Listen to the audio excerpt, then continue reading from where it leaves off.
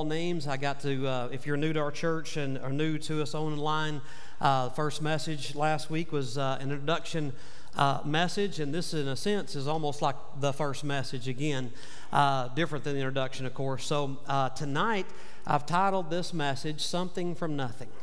Something from Nothing, all right? Uh, Genesis 1 in a moment will be our, our text. You might as well begin in the beginning, right? So we'll go back to the beginning.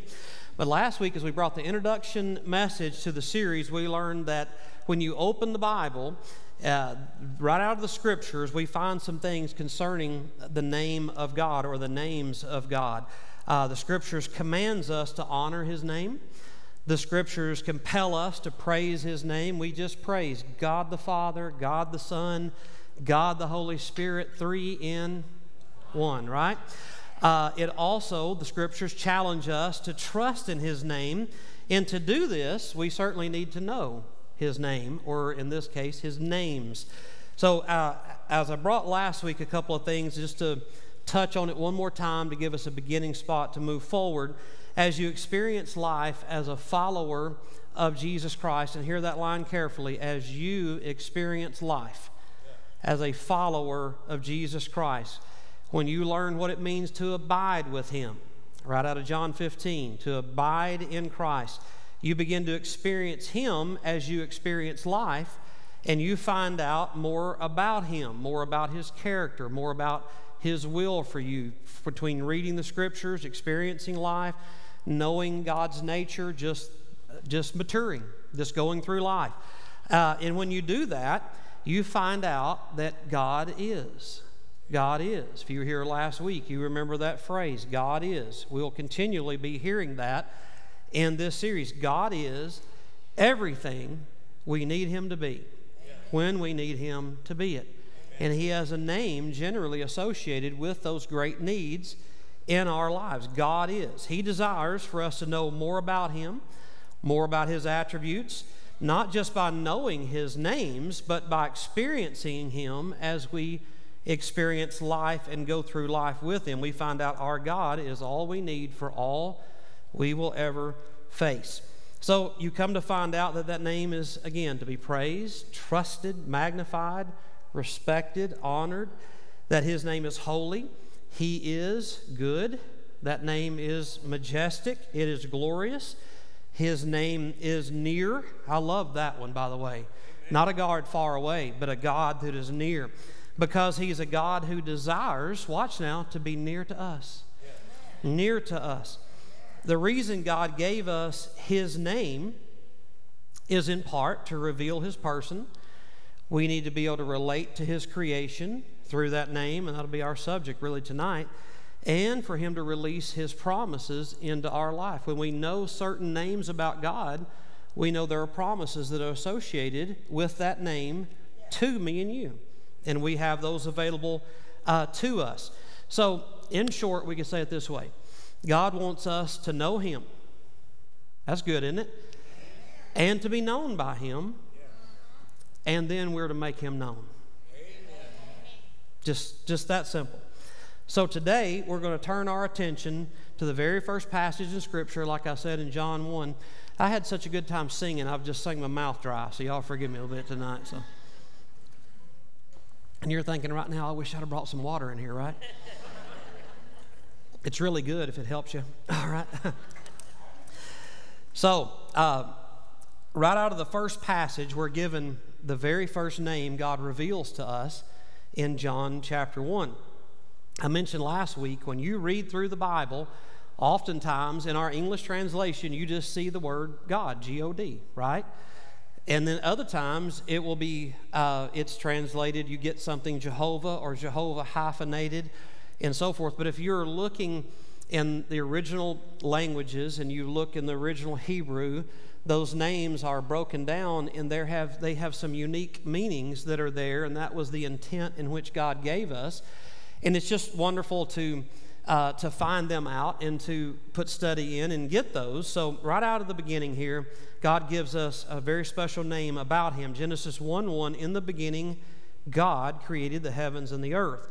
The Hebrew word used there for God, as you see in the scripture, I inserted it there, is Elohim. Elohim just simply means eternal creator. Eternal creator. Here's where you're going to get the title back God stepped out of nowhere, stood on nothing, and spoke into existence something out of nothing. And watch now, it takes faith to accept that. It takes faith to accept that. More about that in a minute, too. Elohim is the most frequently used name of God in the Old Testament. The most frequent one, used more than 2,500 times in the Old Testament. God, eternal creator, eternal creator, eternal creator. It's used 32 times in this first chapter. Eternal creator, eternal creator, eternal creator. Elohim is plural for El, it's associated with God, and it's the only name of God that is plural. So, why is that important? Because when God said, in the beginning, God created the heavens and the earth, he meant God the Father, God the Son, and God the Holy Spirit. Together created all that there we that we see and all that there is were created by the three in one that we just sang and gave praise to. All of it was one God. So I, I don't understand that. I don't really either. But we're taking it by faith. Amen. And another day, we can go through all the things in the universe that are three in one. It, things like you and me body, mind, soul. You're a three in one, and you're known by that. If you want it a little simpler, it's an egg. It's an egg white, an egg yellow, and a shell. and all three are egg. Thank you very much. All right.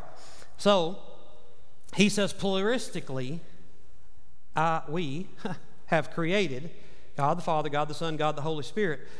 Watch now. So the Holy, the Father is, is speaking. All three are Elohim. Notice in verse 2. So as God is saying this, and the Spirit of God is over the face of the deep. So it's here's God, and all the elements are created, and it's in total darkness and void, and, uh, and it's a chaotic mess, I guess you would say it that way, but the Spirit of God hovers over the deep. There he is in, in that spot. If you allow me to jump ahead, remember in the New Testament is when the name above all names is revealed, the name of Jesus, right?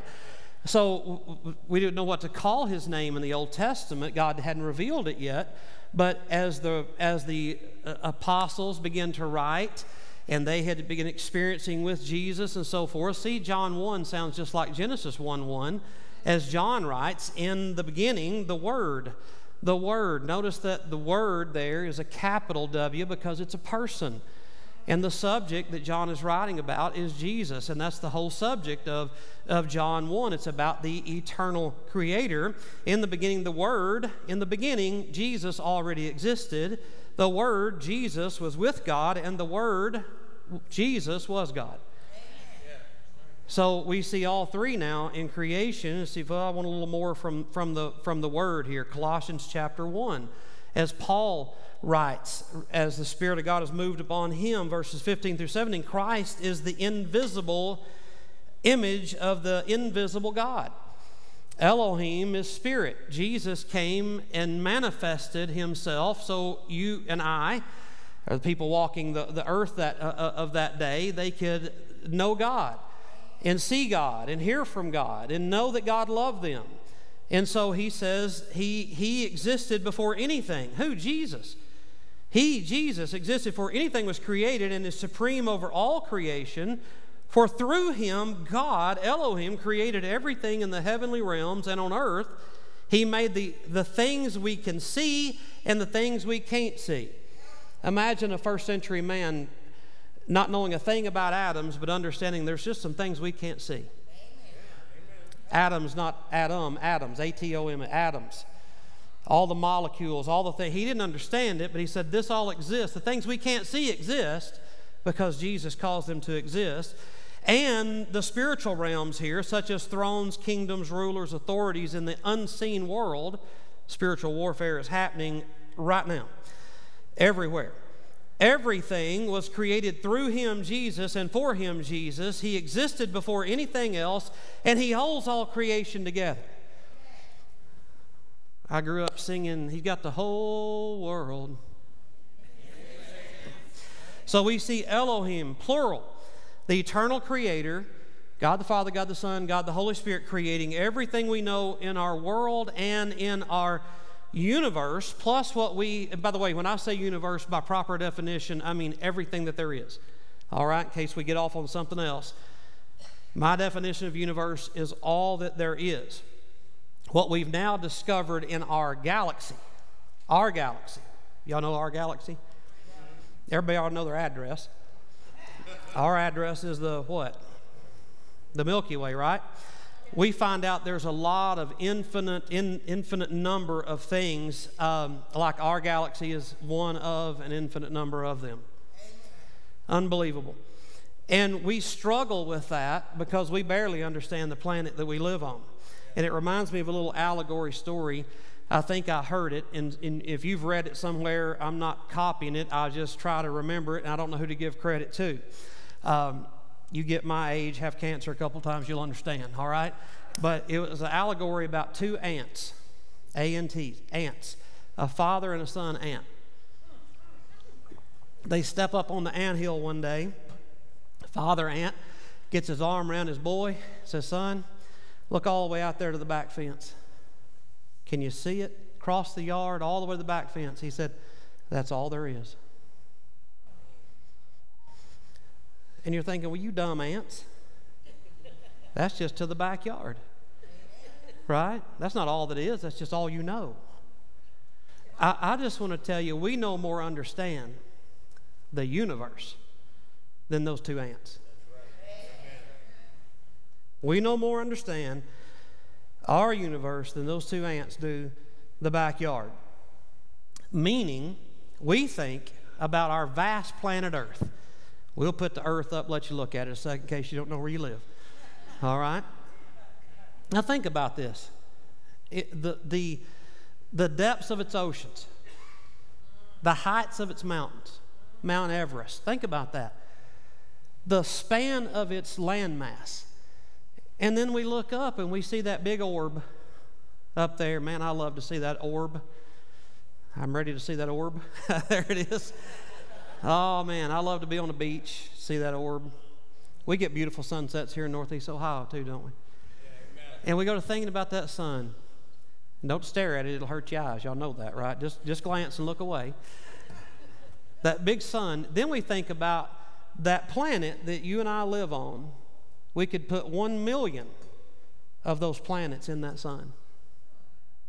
One million planets, planet Earth, can fit inside the sun. And then we, we learn, uh, man, that's just impossibly big, but just wait, there's a, there's a greater scheme. The sun would be like a pinprick to all the other stars that exist in the Milky Way that we have right here that we live in. Just the Milky Way like, like, a, like a pinprick in comparison.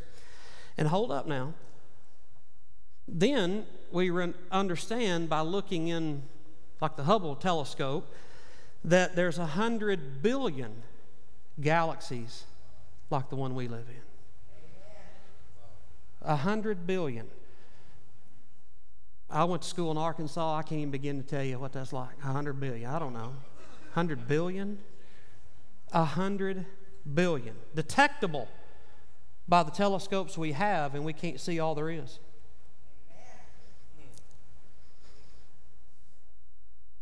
If each star was a grain of sand in our Milky Way, the one in the hundred billion that we know about and we live in, if it, each star represented a grain of sand, it would be like a 30 foot by 30 foot stretch of beach that would be three feet deep with sand if a star was the size of a speck of sand. And the entire earth doesn't have enough beaches to represent the stars in the overall universe that we just know about. That beach would extend for literally millions and millions of miles. And the 100 billion galaxies within range of our telescope are probably a minuscule fraction of the total two ants looking to the backyard. That's all there is. The vast majority of our galaxies, they say, are separating at a rate which can't even be calculated at the speed of light. Let that sink in for a second.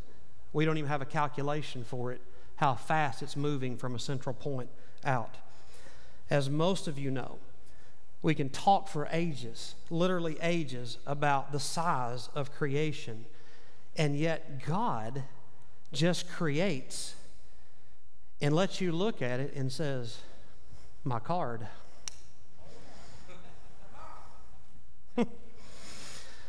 What's cool to me is God never tries to convince us that it's real. He just speaks, creates, and says, My card. My wife, April, sitting right over here in Atlanta, when we lived there, uh, she's always dabbled in a little bit of real estate and stuff like that. She started building homes uh, down there for a while, a few years. And she would go take an empty lot where there was nothing, buy that, design the home, hire the contractors that worked for her. We had teams of people, and I say we, I mean she. And she put the house together and put a sign out front, and people went in to see if they wanted the home. I never remember anybody going, April doesn't exist. No, she just don't exist. What do you mean she don't exist? No one would say that. How dumb is that? Now, you up here in Ohio, from what you know of her, may go, I don't know if she built that house or not. But if you went down to Atlanta and, and you know her and you were standing in her house, you would see her fingerprints all over it. Because there's little design things that she would do, and if somebody knew her, would go, "Oh, that's that's April's house." She does that little thing here and a little thing there, and how could you miss it? That, that's, that's literally April's house, and that's what April would do is just, well, yeah, here's my card. It's my house. Where there was once nothing, there's now something. Yes, it was an empty lot, but there was a designer, and there was then the, the builder, and then here is the house. Behold, my card. There you go. Uh, God is saying in Genesis 1 1, you're standing in my house. Here's my card. You're in my house. It's interesting to me that from the start, God wants to declare His name and make it clear He is the creator and sustainer of life. He's the builder and, and, and of all creation. All of creation, all of the universe is His house. When we get into a discussion with others about creation, I often hear people say this well, where did God come from? The Bible clearly says He's always been which is actually another name for God, and it's revealed to Moses in the book of Exodus when Moses saw the burning bush and God was commissioning him to go back to Pharaoh and to tell Pharaoh to let my people go. And, and Moses was a little argumentative. And finally he says, Well, who shall I tell them sent me? I am that I am sent you. You tell Moses, I am that I am sent you, which means, here's what I am that I am means the self existent one. I don't need Pharaoh. I don't need you, Moses. I don't need anybody. I'm before all things. I hold all things, and for me, all things consist. I'm the eternal, self existent one. I don't need oxygen. I made oxygen. God then says to Moses, Say this to the people of Israel, not to Pharaoh, but to Israel. And this would be verse 15 of Exodus 3 Yahweh, the God of your ancestors, the God of Abraham, the God of Isaac, the God of Jacob, has sent me to you. This is my eternal name, my name to remember for all generations. Yahweh is rendered Jehovah in most of the Bible. It's the same name, same person, obviously. It's just another little element uh, uh, about the Lord. Sometimes in the English, you'll just see the Lord. The Lord is Jehovah, the Lord is Yahweh and they're all God, and they're all Elohim God the Father, God the Son, God the Holy Spirit. So, Genesis, uh, well, I should say it this way unlike the evolutionists who have to come up with where the first Adam come from, I don't have to make up my opinion. I simply believe by faith what God said in the beginning, God was already present and accountable and he spoke the worlds into, existence. So Genesis 1 1 is a simple declaration that Elohim has always existed. Remember, God is. He is. He is. He is. He's always been, He always will be. He's the self existent one. If God is, what's the significance of that? Should be the question that comes to our heart and mind. If, I'm going to play the advocate here a little bit tonight and answer both ends of it because some people may be watching online or hearing our service and you go, I don't know about all that, and that's fine. It's fine. I just want to challenge you where you are with what you think and what you've been taught. And what happens is our young people come out of our churches and go over here to a school and they've got somebody with seven more years of college than they do and 20 more years of experience. And whether you're taking English or basket weaving, they go out of their way to say there is no God. And our young people go, well, maybe there's not. Now, the reason I know there's a God is because I have experienced Him. You don't have to, it's not an argument for me to win, and it's not a theological uh, debate or a, a, a, scientific debate, and I'm going to talk about that a little bit tonight. If you've experienced Him, no one has to tell you, oh, God's real. Amen. Let me tell you, I know He's real. Amen. God is, so what is the, what's the significance again? Well, it means everything. If God is, then bad can be made good, and sin can be atoned for, and chaos can be brought to order. If God is, there is hope for the hopeless and help for the helpless. If God is, then everything in life has meaning and purpose, and life is precious and sacred and a gift from the eternal existent one. But if he isn't, well, we got a mess. And we'll revisit that in a moment. But I look out in my world right now and go, we got a mess. Because we have people going, no God, no need for no need for God. The entire issue of God, creation, all the great questions of life, you know all the great questions. Where did I come from? Why am I here? Where am I going? What's the meaning of it all? These questions are simply faith issues, not, hear the word, not proof issues. Yeah, They're faith issues, not proof issues. Proof is not the issue. Amen. Proof has never been the issue. Never will it be the issue. If you want to understand that no matter how much proof you can find in the Word of God and in science and in archaeology and recorded history or anthropology, proof will never be enough for a lost man to put faith in God. Because there's already, no, there's already more proof from my side of this than the side they're holding on to. Amen. Here's an example. Someone said, well, if we could find part of the ark and we could prove this has happened. Well, they, people have found gopher wood all over that part of the world where the boat came to rest, pitched with every, just like God said it would be. Well, that's not proof. They'll argue that away. Someone said, well, if we could find a living dinosaur somewhere, man, it would be the death of every evolutionist kind of a thing. So, uh, no, it wouldn't. Because proof has never been the issue. It's never been the issue. See, this, this all got debated up when Jesus told the story in Luke chapter 16, around about verse 27 right there. Jesus said there was a man named Lazarus who died and a rich man who died. Lazarus went to paradise, heaven, and the rich man died and lifted up his eyes in hell. And the rich man was tormented and beg, you know, Lazarus used to live under his table or sit at his table and just eat bread that fell off the table.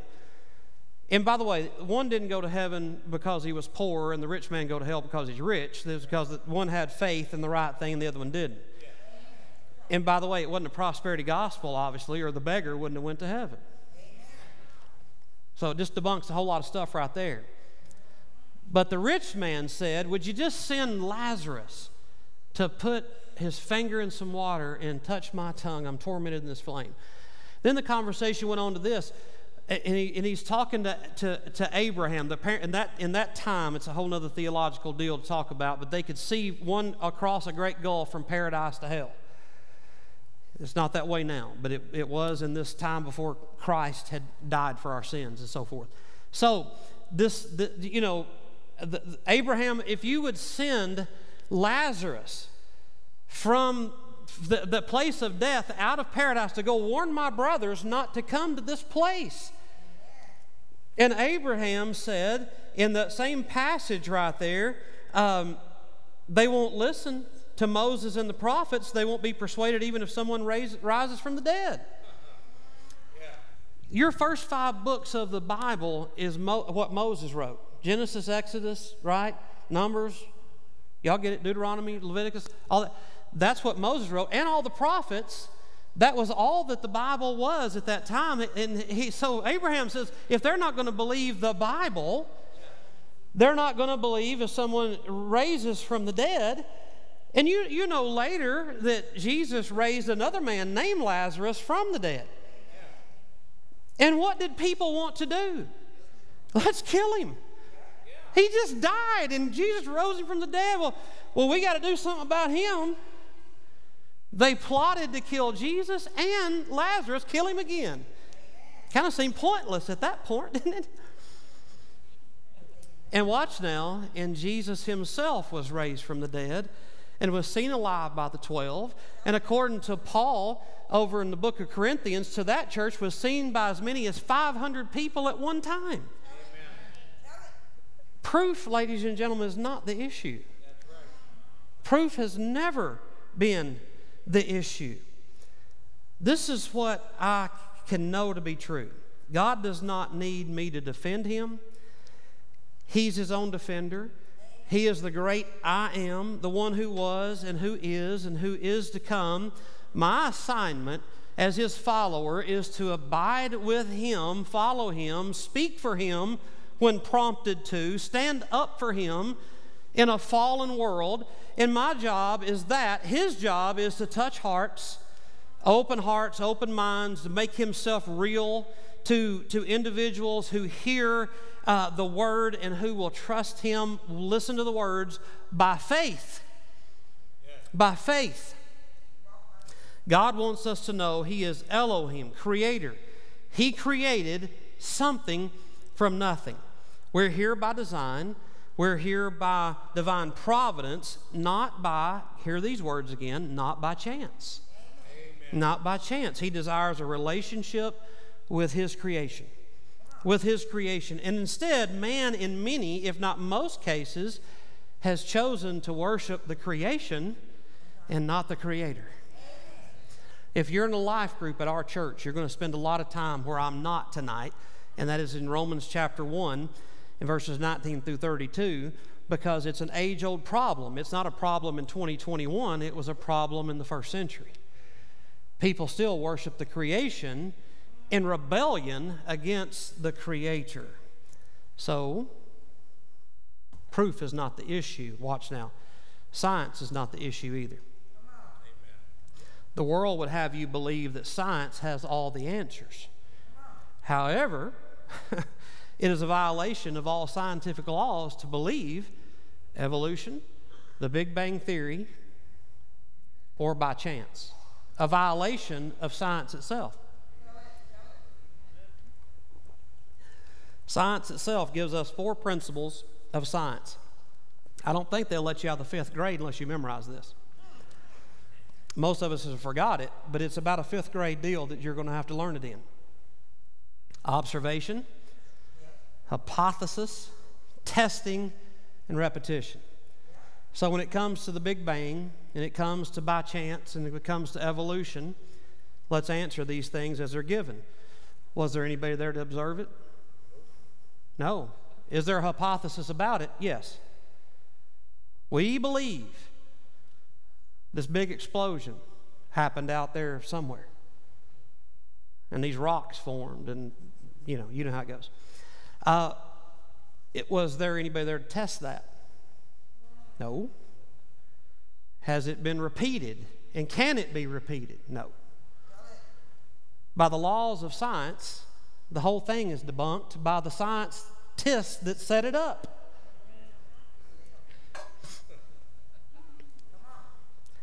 That leads me to say faith is not the issue. Science is not the issue, but hear, hear what I'm saying. Faith is not the issue either. I don't have enough faith to believe evolution, Big Bang, or by chance. I'm telling you, I don't have enough faith for that. I do not have enough faith because it takes a whole lot more faith than what I'm operating in to believe Big Bang, evolution, and by chance.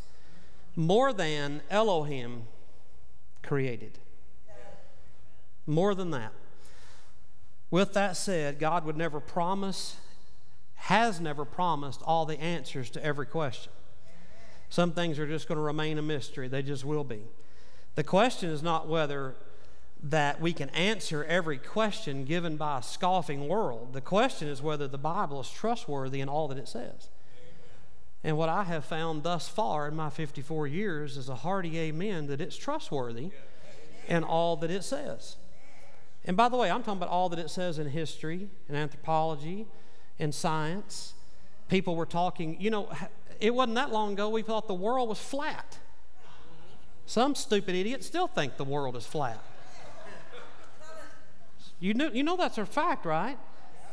Yet Isaiah talked about God sitting on the curvature of the earth thousands of years ago. It's trustworthy. Scoffers refuse to believe the miracle of creation, choosing to believe in theories like Big Bang, evolution theory, and by chance. Secular scientists have had a long time problem, and they don't know how to get around it. Something they have to put faith in because observable science says this something never comes from nothing. something never comes from nothing. So their theory has no scientific explanation either. The Bible gives us at least a plausible beginning spot. Hebrews chapter 11 verse 3 echoes back to Genesis 1. By faith, there it is. By faith, we understand that the entire universe was formed by, at God's command, that what we now see did not come from anything that can't be seen. Scientists say something can't come from nothing, yet what they hold on to is something did come from nothing. We have always attested that something came from nothing because God spoke it into existence. Psalm 19:1 The heavens proclaim the glory of God, the skies display his craftsmanship. Big Bang and evolution together are not science, they're theories that no one observed, no one tested, and no one could re- replicate. And let me add this they are religions yes, they are. believed by faith with their own pastors in the college classroom and evangelists that come in and speak for them. They are their own religions, and it requires a great deal of faith and a whole lot of ignorance. The Bible tells us a fool has said in his heart, There is no God. How else can you explain how a person can deny God's existence, deny the creation account, live in the universe that we live in, and choose to believe something like this, and, and, and you guys have had to go to schools that taught this, you will found some of this pretty familiar, but so there's this explosion somewhere out there somehow. We don't know what exploded, but something exploded.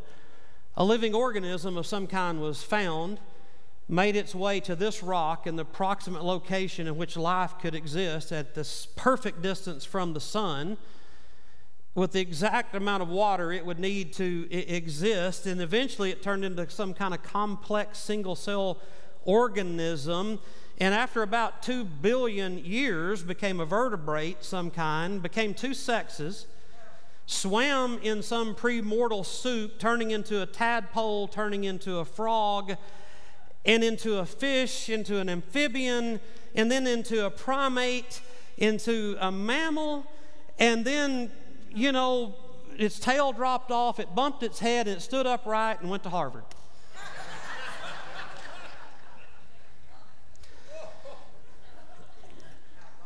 Ladies and gentlemen, look at me in the face. It takes faith to believe what I just said. And that is what's preached at the religion of the university and the college. So, with all that, faith is required to believe no matter what you believe. Faith is required. I'm not asking you to choose faith over science. I'm telling you that any rational, intelligent person, if they look at the facts, must conclude that the universe declares there must be a creator. There must be. I'm telling you, whether you believe in evolution or creation, faith is required. This podium is made of metal, and it's heavy. And metal comes from ore in the ground. We live the history of this, right? This was not in the ground like this. Someone dug up the ore, processed it, did a lot of things I don't even know how they do, designed it, shaped it into all this, painted it black and sparkly put four screws here in the top to hold this part on because I, there's just no way that come out of the ground like that. Is that okay? It had a designer. And we could go back and go, where'd the ore come from? Why is it here?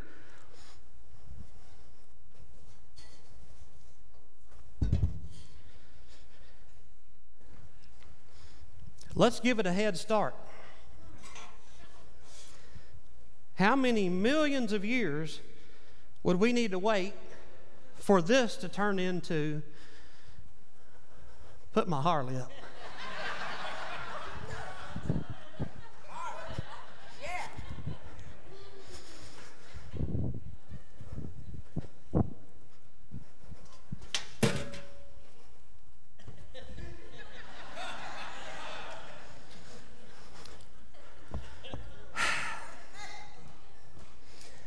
I don't think it'll be tonight. you know what we need? A hundred billion years. Now let's go a hundred million. Come on now. Come on now. Look at that thing. A Harley. Any Harley people? Indian guys? Yeah, all right. Harley people. You know what that motorcycle is? It's systems within systems. It's a chassis system, braking system, fuel system, on and on that would go. Wiring system, systems within systems. A Harley Davidson is crafted, it's designed, and it's got that big bad motor with that exhaust system. And every man goes, Yeah, yeah, yeah, and a lot of ladies too. Now, look, what do you think me and you are? Systems within systems. Thank you. A plus to that person. Well, we're a skeletal system. If not, I couldn't have picked it back up. A nervous system, and my back hurts because I did, right? Respiratory system, muscular system, one of the, one of the most uh, known atheists came to faith by being a doctor, studying a hand, dissecting and working on corpses, you know how they do, the cadavers with the hand. And he looked at that and kept looking at it, and he goes, There has to be a creator. A man became a medical missionary. I'm sorry, I don't remember his name. I know he lived in Nashville for a lot of years. Just looking, look at the eyeball. Study the eyeball. Study your ear, all the things that go with that, and tell me, well, how many millions and millions of years did it take? What arrogance and what rebellion to say there's no God. Blindness, blindness to that. All right. And by the way, we talked about a Harley. How many millions of years would it take for, for it to just turn into this?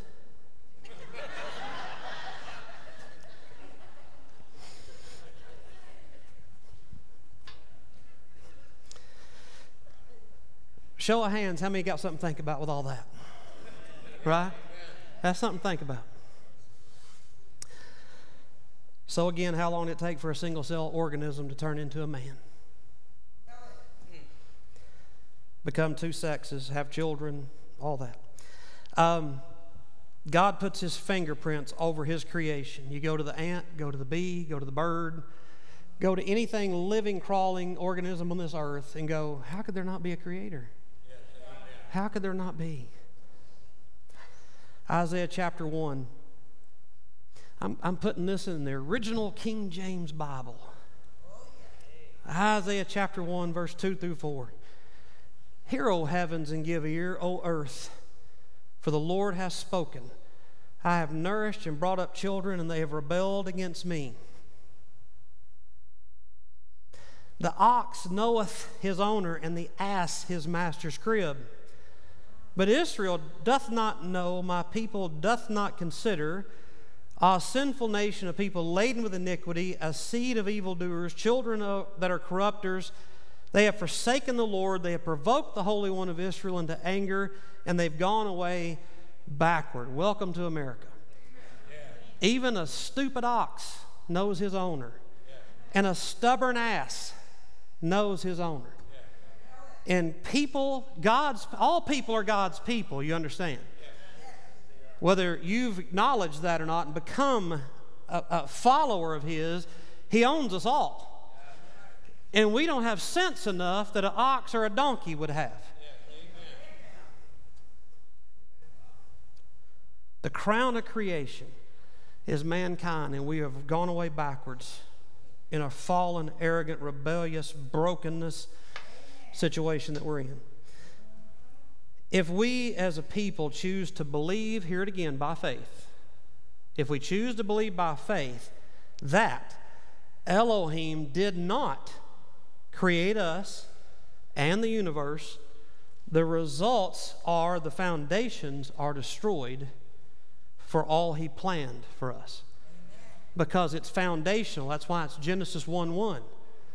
And right at Genesis 1 1, he says, There are those who will accept this and those who will not, and it's as wide as darkness and light is the chasm that's there. So, what happens when the foundations are destroyed? Psalm 11 3 answers that. When the foundations are, are being destroyed, excuse me, what can the righteous do? Well, what can we, if the foundation's gone, what's going to happen in the world that we live in? I'm going to say this and we're going to close, okay? Here's the results. By the way, if you want this, you know the, all the message notes are on, on the app. You can email them to yourself, okay? If Elohim did not create us, then we've evolved from the slime of nothingness and it's survival of the fittest. Just survival of the fittest. Dog eat dog, buddy. I got mine. You can't get it. I'll kill you if you take it. If Elohim, did, Elohim did, doesn't exist, we are accountable to no one, and we are left to just do what thou wilt, which is the very axiom right out of the Satanic Bible of what it means to be a Satanist. What it means to be a Satanist doesn't mean sacrificing babies and drinking blood, it just means do whatever you want to do. If there's no foundation and no accountability, and Elohim is not our creator, then just what are we doing here? Let's just go and get and do and take and just do whatever you want to do. If we're not His creation, then we're just animals ourselves with a higher consciousness. So we can be caught up and save whatever else is on the planet out there, equaling it to a, to a man, or just struggling to survive and you know, we need not care about anybody except our own pack. And there's the two extremes that we go to. Save the whale and kill the baby. There is no room for God in evolution. That's why it's its own religion that stands against God, the Bible, and all that God intended for all of us to, to know and experience with Him. Because evolution leaves no room for God. And lots of Christian people think it's a mix of each one. No, ladies and gentlemen. You believe God created or you don't. If there's no room for God in evolution, revelation of evolution, rather, therefore there is no real difference in good and evil. What's your definition of good and what's your definition of evil? Morality is just an illusion and truth is relative. There's no moral and ethical laws. Therefore, you'll live your own truth. That's the gospel according to Oprah. Right? Whoever else is the latest dud on TV. Talk, well, you just live your truth. Truth is truth. How stupid is that? Two plus two is four. It can't be five. Five's not true. You live your truth. There's more. If no Elohim, there is no sin. There's no re- need for redemption from a Savior. There would be no cross. There would be no resurrection. And it's all just a ruse, and an elaborate hoax that was made up. That's where, you, that's where you're at. Friends, as if we stand and pause and we look out at all that we can see that's around us and consider our universe and we consider the birds that fly and build nests and migrate and the hummingbirds and the bees and ants and everything around us and as if Satan comes along and says, Nothing to see here. Oh, no, no. But we look at our bodies and look at there, there must be a intelligent design. No, nothing to see here. Just keep busy, survival of the fittest. Do your thing. Party, party, party. Go from one pleasure to the next. Nothing to see here. Move along. Watch now. The proof is not the issue. Science cannot be the issue. Faith is not the issue because it takes more faith to believe the other side. It leaves us with only one thing the heart is the issue. The heart is the issue. You see, there is a God, and his name is Elohim. And as if he is taking your face in his hands and looking you around, look around you. You're in my house. This is my house. And I love you. By the way, every parent understands this. What one of us have not gotten our kids by the face? This is my house. Now look at me, I love you. What are you doing? Have you lost your mind? If you hadn't done that as a parent, you probably lack as a parent. Or you have the absolute best kids there's ever been. I've had to snatch all mine up and give them that talk. What, what in the world? Right? Look at me. I love you. I'm here for you.